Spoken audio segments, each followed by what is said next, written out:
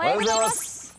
今回は奈良クラブのホームスタジアムロートフィールド奈良からお届けします、はい。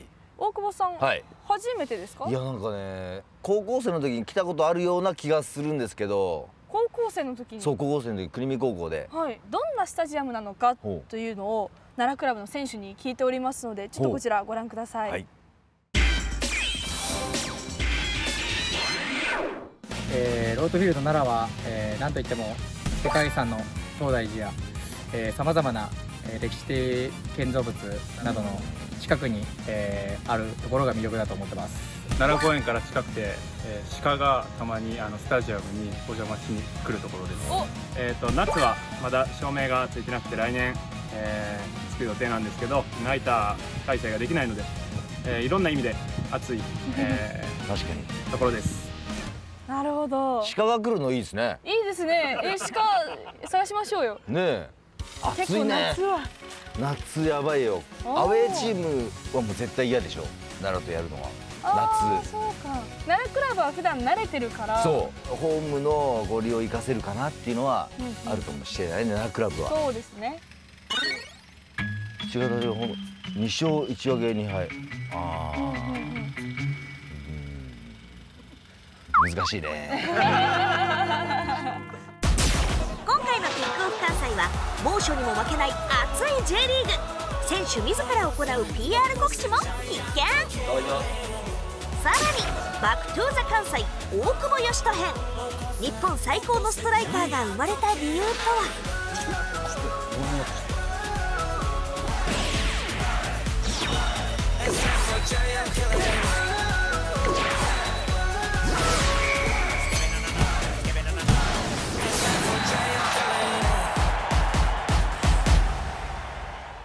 本日ドイツとトルコ代表と戦う日本代表のメンバーがお発表されました、は日程がですね9月9日のドイツ代表との試合、そして9月12日にトルコ代表との試合があります、珍しいですねアウェーで。うん、そしてセレッソからは毎熊誠也選手が選ばれました、うん。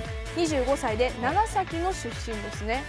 前熊選手って右サイドバックもできてハーフもできていろんなとこできるんですよ。そういうのってこの代表とか、まあ、他の監督とかにしたら使いやすいっていうかね。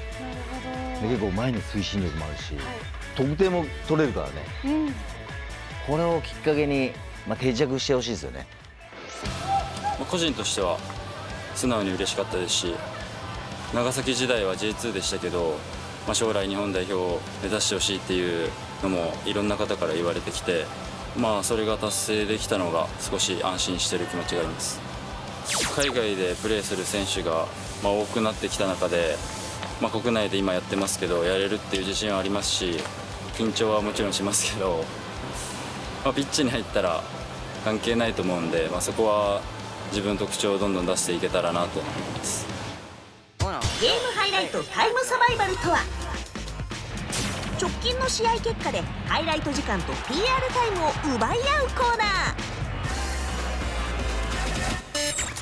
J1 の持ち時間はトータル5分。関西を拠点とする J14 クラブの選手によるプレー解説を加えお送りする熾烈な時間の争奪戦。J1 リーグは終盤戦に突入。優勝争いかそれとも残留争いに巻き込まれるのか。明暗が分かれる真夏の戦い。タイトルの行方を占う重要な夏を制するのはどのクラブなのか？まずはガンバ大阪。持ち時間は30秒。アウェーサガン突戦。白のユニフォームガンバは1点を追う苦しい展開。しかしまさに終了間際。13試合ぶりの出場となった山見選手。負けてる試合で絶対に決めきろうっていう思いがあった中でスピードを上げまくってスピードを落とさずにゴール前まで行くっていうのを一番意識してました。アウェーで貴重な勝ち点1をゲット。PR は短めですがスピードを上げまくってどうぞ。大人気モフレムグッズ続々新商品登場。ガンバ大阪公式オンラインショップをチェック。可愛い。可愛いね。ちょっと暑そうですけどこれからの季節にいいですね。いいね。3位のヴィッセル神戸は1分獲得振り返るのはもちろん前川大也選手。白のユニフォームヴィッセル神戸はアウェーの国立競技場で FC 東京との一戦。前半18分本田選手からのバックパスに前川選手が痛恨のミスキック。そこから。ミスだったりとかでやっぱ失点してしまうポジションなんで、まあ、次はないようにしていくことが大事なのとあそこからま切り替えて、まあ、自分ができることをやっぱり最低限にできたこと。そう話した通り後半25分 PK の場面では。そのミスのこともありますしやっぱチームを助けたいっていう思いもあったので、まあ、それがうまく叶ってよかったです。そして後半アディショナルタイム大迫選手から山口選手。スーパーゴールでドロー勝ち点1をもぎ取りましたそれでは PR タイムスタート。9月3日は斉藤選手の応援ボードを配布し試合前に掲げますのでぜひスタジアムにお越しください。でもやっぱ綺麗だねでこれで水をまいたらこう芝がペペペンってこう立って。でわかるかな？続いては京都サンガ。持ち時間は1分30秒です連勝を目指すサンガは福岡と対戦。コーナーキックのチャンスでキッカーは武田選手。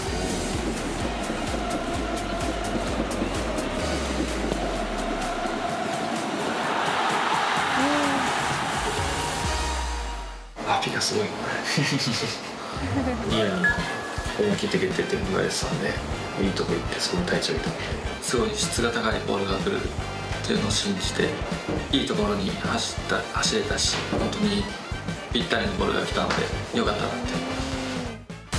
流れに乗る京都。こぼれ球を押し込んだのはまたまた原選手。しかしその直後にアピピことアピアタリア選手が一発退場に。出れてたなと思った出るなよって外に外に出て出てしまったら始められちゃうんで一人少なくなってしまうんでハーフタイムはちょっと時間があったので外からももらって共有するための時間を作りたかった。10人になっても守りきったサンガ連勝です。告知は大久保さんにお願いしたいことがあるこの人が担当。9月23日広島戦ではサンガールズフェスタを開催。女性が楽しめるイベント盛りだくさんぜひお越しください。あと吉田さん釣りに行きましょう。釣りに。釣り。釣り。いや全部餌つけてくれよ。番組企画とかで釣り対決とかやれたらいいですね。サッカー番組です。確かに。1位を獲得したセレッソ大阪。解説は？上条佐々です。解説します。グランパスとの上位対決を上条選手が振り返ります前半9分マイクマ選手が縦パス。折り返したボールに合わせたのは上条選手。最初キーパーとディフェンスの間に行こうとしたんですけど距離が長くて間に合わないと思ったんで止まりました。少しちょっと解放されたというか思い切ってプレーするできるようになりましたねこの後からは。同点に追いつかれ勝ち越しを狙うセレッソ。後半マイクマ選手のスローインから上条選手がターンで抜け出します。左足を振り抜き勝ち越しゴール。あんまり大きいドリブルしちゃうと体を入れられるんですけど細かく相手から遠ざかるドリブルをしたのがポイントですね。で顔を上げたのが、はい、一番のポイントですかね。僕が顔を上げた時に多分カピに出すと思うんですけどキーパーもちょっと反応したじゃないですけどステップを踏んでるのでそこでタイミングが少しずれたかなと。コースもちょっと甘かったんで止められてた可能性はあるかなと思います。さらに1点を追加して6位をキープしました20秒前より長いですね。PR コメントは20秒です。本日の川崎戦は小泉サポーティングマッチ。SNS キャンペーンに参加すると先着1000名様にオリジナルキーホルダーがプレゼントされます。ぜひご来場ください。僕がおすすめする沖縄料理は 沖縄そばです。ぜひ一度食べてみてください。おあの京都の試合で、はい。アピアタビア選手が退場となって、はい。結構そういう時間稼ぎっていうのはあるものなんですかね？勝ってる試合で、まあ、体力を戻すうんっていうのですぐ出るなっていうことはあります。足がつって倒れ込んででやっぱ日本の選手って真面目だから自らグラウンドの外に出ちゃうのよ。出ると審判は止めない。中にいると止めるから。そうか。だから外に出たやつを引きずり引きずって中に入れて倒れてるよってまだ俺しか見たことない。これを聞いてもしかしたら。J2 昇格を目指し各クラブがしのぎを削る J3FC 大阪と奈良クラブのタイムサバイバル。まずは奈良クラブ。前節 FC 大阪に勝利した勢いは止まりません紺のユニフォーム奈良クラブは前半40分細かいパス回しから最後は浅川選手が決め先制すると後半には酒井選手が芸術的なフリーキックでダメ押しホームでサポーターへ届ける勝利。奈良クラブ連勝です。続いては FC 大阪。今節は順位が上なので40秒。解説は FC 大阪ディフェンダー3番斉藤流星です。サッカーやりながら僕は化粧品の会社をしてて、まあ、アピールポイントは肌が綺麗なところです。白のユニフォーム FC 大阪は前半セットプレーから斉藤選手が足で合わせて先制。まあ、その場でなんかパーに来そうやなっていうのを感じたんで J2 の時に1回取ってそこから J リーグでのゴールなかったんですけど気持ちよかったですね。後半にはコーナーキックから田中選手が決めて追加点 J2 昇格っていうのが見えてきてる順位になってるので、まあ、しっかりつかめるように日々の練習からしっかりやっていきたいとは思います9月3日松本山雅線スタジアム前で FC 君温度をしますぜひ皆さん来てください一緒に踊りましょう J3 の順位表がご覧の通りです。J3 はあと14試合。うわ結構あるねそうなんですよね。14試合はけど2チームなんで可能性全然あるはい。さあでは続いては Back to the 関西です。前回に続き大久保さんが地元九州を訪ねました。 Back to the 関西と呼んでいいのかですけどね。まあ九州やね。Back to the 九州。ですね。はい。レジェンドが原点をたどるバックトゥザ関西。おはようございます。大久保です。前回に続き特別編は我らが番組 MC 大久保嘉人さん J1 リーグ最多の191ゴールを挙げた日本を代表するストライカーです。そんな大久保さんの原点を4つのキーワードで紐解きます。前回放送した生まれ故郷の福岡編。自宅があった団地の至る所で技術を磨きこうやって入れてました。タンタタタ小学校の卒業式に流れた曲で覚悟を決めた少年時代でしたいやもう俺は絶対プロにならないといけないなっていう。そして今回いよいよ舞台は長崎へ。大久保少年はその才能を見出され長崎県の中学校で寮生活を送ることに。移り住んだ国見はサッカーが中心の町もうサッカーだけってなるなるようないい環境じゃないですか。えー頑張ろうって思いましたよ逆にね。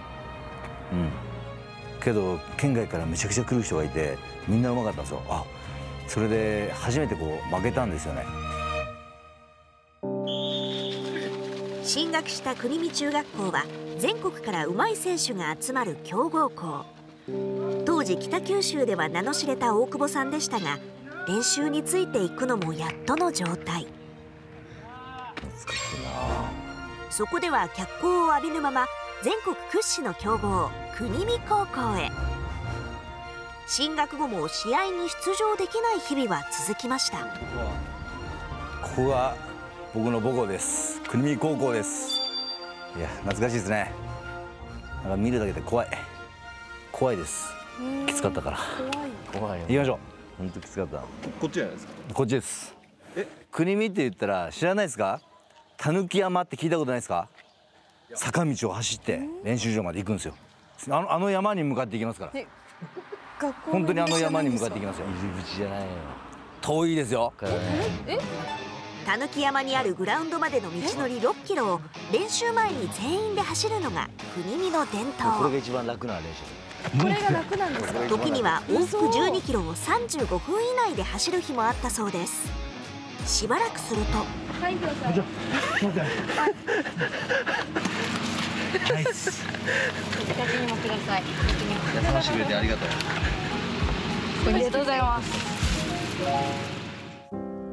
この過酷なトレーニングに死に物狂い。でつい。てい。った大久保さん2年生になると出場機会をつかんでい。きます当時はもうみんなにちょっとでも強くなるんだってい。う思い。でやったんでいやもうきついから頑張ろうとは思ってなかった。ですだからみんながいたからこそ良かったかもしれない。ですねだからこう走れてもいやあいつについていこうとあいつ抜いてやろうとねライバルやけど仲間でもあるし。走っていると当時の思いが蘇ります。もともと僕弱かったですから負けても悔しくないし言われたらもうやる気もなくすしだからこの気持ちの持ちようだと思います。周りのことは気にしない。気にしてしまうからそうやって「うわ僕弱いから。いやいいいいです」とか。そういうの結局大人になってそんなこと覚えてたりもしないじゃないですか。周りの人が忘れてるんだから。それたら結局は自分が全部抱え込む。自分のものになるんだから。ちっちゃい時から。そういうことをやり続ける。だからここを俺たちはスピード上げてましたね。はい。残り1キロ。ラストスパート。最後に坂が来る。んですかこれが坂がきつくて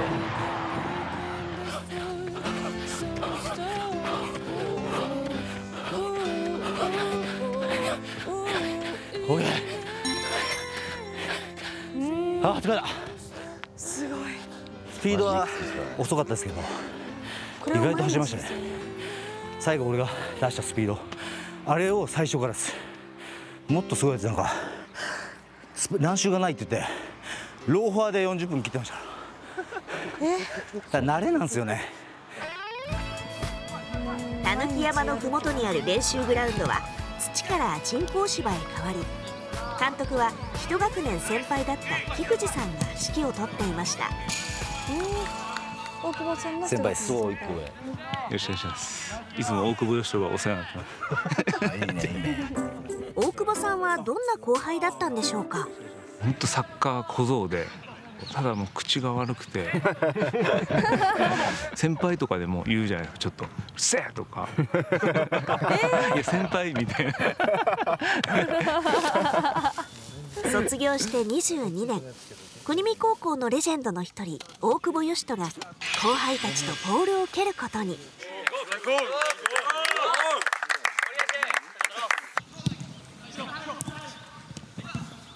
最初は楽しんでいた大久保さんでしたが徐々にヒートアップ。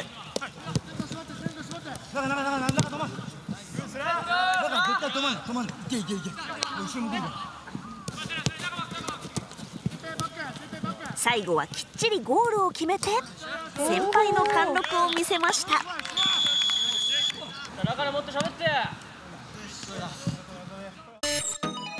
3つ目のキーワードは食べ物。やってるとやっぱり熱くなってきますなるね。3年間大久保さんが過ごした宇都寮。ここでは体づくりのためにご飯を2合以上食べることがノルマでした。しかしなかなか食が進まない時もまずですね。2合以上そんな時に自ら作っていた料理があるんだそうで。適当です砂糖は材料は卵2個に砂糖。やっぱ甘いのがいいんで味変しないといけないんだそうですね。ずっとさらにカニカマを入れて弱火で火を通します焦げるとダメなんですよ。卵が固まってきたらご飯にのせて出来上がりこちらが大久保さんを強くした国見丼です。ど国見丼。マジで卵光ってますね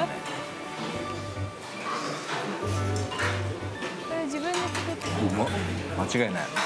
高校の時はもっと大きな茶碗でそれを3杯大盛りで食べないといけなかったんでこういう味変をして食べてました。そうするとスッて入るから親元を離れて単身サッカーに打ち込んでいた大久保さん。そんな彼を見守ってくれた人がいました。国見高校を全国の強豪まで押し上げた名将小峰忠俊監督。サッカーだけでなく人間力を大事にする指導で多くの J リーガーを育てました。立派な人間育てやろうと何とかしなきゃいけないというそういう信念でやったことは事実長崎に来た目的は恩師との再会。すごいな。しかし去年1月病に倒れ帰らぬ人となった恩師。引退後初めて手を合わせることができました僕のこと何でも知ってたんですよね。性格も知ってたし。やっぱ自分が怒られたらダメになるっていうのは分かってたんで。何でもうまくなりたいそういう選手になりたかったんですよ。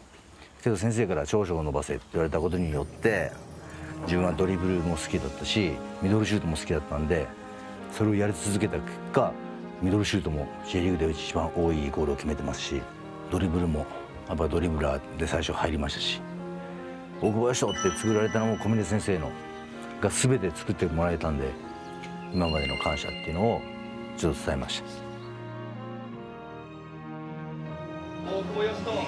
高校を卒業しても大久保さんのプレーを常に気にかけていた小峰監督。最後まで大久保さんの背中を押してくれたといいます。引退の電話が最後やった「およしとか」ってすごい元気な声で言って「あやっぱり引退します」「あそうか」みたいな「お前ならやれるからこれからも頑張れよ」と。いう言葉で終わりましたね。名将が咲かせたのは大久保嘉人という唯一無二の大輪でした。大久保さんにとって原点とは？いややっぱりこう夢への階段ですね。苦しいこともたくさんありますしはもう登れないっていう時もありますけどでも夢に到達するために頑張らないといけないっていうやらないといけないっていうこうね気持ちを持ってたのでここは夢への階段かなと思います。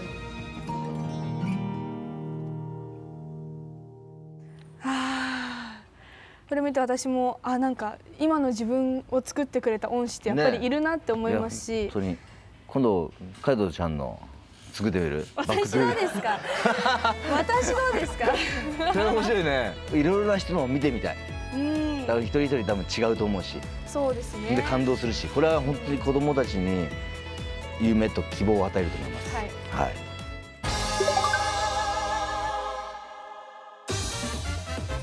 やっぱボディーフェイントちっちゃいから体重移動を見る足の。はい。足を見るこっちこういったら体重かかる。ねその時にやっぱ逆に行く。もうこれだもうそうそういうこと。これで抜けるだからどういいいステップやねいいステップやね街歩いてる時も俺たまになるもんこうやって人をこうするこうこういうのえまあ癖なんやろね嫌ですねえいっちゃうこれ前歩いてる人にそれやられたら